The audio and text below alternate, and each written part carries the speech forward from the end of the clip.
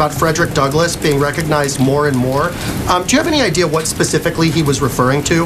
Well, I think there's contribution. I I think he wants to highlight the contributions that he has made, and I think through a lot of the actions and and, and statements that he's going to make, I think the contributions of Frederick Douglass will become more and more.